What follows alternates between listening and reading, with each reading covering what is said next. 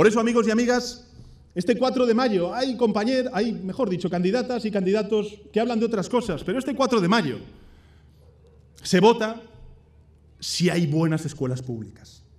El 4 de mayo se vota si hay buenos centros de salud. Se vota si vamos a volver a abandonar a los mayores en las residencias como hizo la derecha hace un año en plena pandemia o si mejoramos la atención de nuestros mayores en la Comunidad de Madrid. Eso es lo que se vota. Se vota si la recuperación llega también a Entrevías, a Vallecas o se queda en la calle Serrano. Se vota si ayudamos a quienes lo pasan mal o se les desprecia, como hemos escuchado por parte de la derecha y la ultraderecha. El día 4 de mayo se vota si hay gobierno progresista, serio, honesto, decente, liderado por el PSOE o el gobierno de la Plaza de Colón del Partido Popular y de Vox. Nos quedan dos días. Vamos a movilizarnos.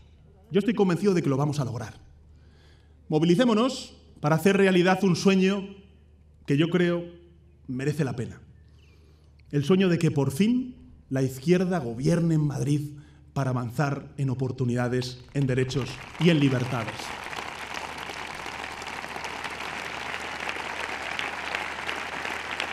Que la izquierda gobierne para que en esta etapa de recuperación nadie quede atrás.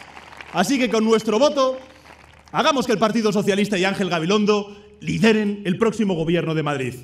No es solo Madrid, es la democracia. A por ello. Gracias.